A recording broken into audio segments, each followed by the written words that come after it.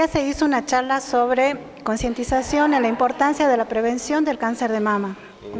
Se explicó cómo es la enfermedad, la evolución de la enfermedad, quiénes son las personas que podrían tener un cáncer de mama, cómo hacer el diagnóstico y eh, concientizar trabajo que es de toda la familia.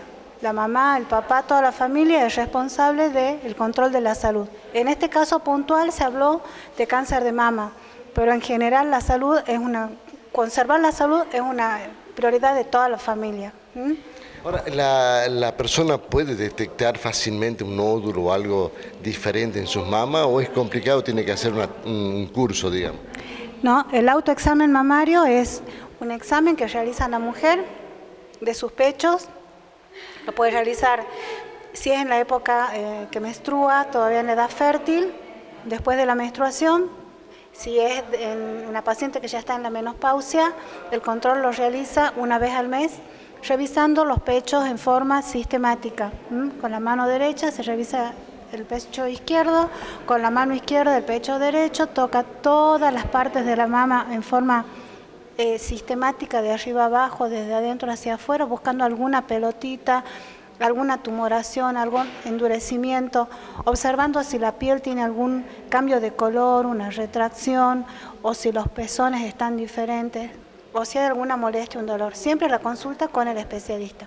Bien, eh, hay, por así dicen agarrar el cáncer a tiempo. ¿Qué sería agarrarlo a tiempo? ¿Cuándo sería el momento, digamos, justo en que lo podemos frenar?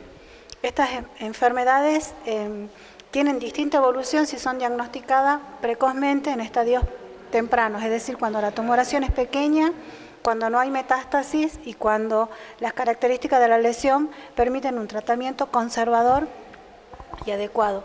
Decimos que el diagnóstico es tardío cuando la lesión ya avanzó, cuando está dando metástasis en lugares diferentes y distantes ya no es el mismo pronóstico para la paciente, ya se complica el porcentaje de sobrevida.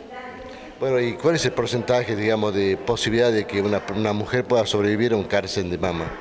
Un cáncer de mama captado a tiempo en un estadio inicial menos de un centímetro puede llegar a tener un 90% de sobrevida a los 20 años.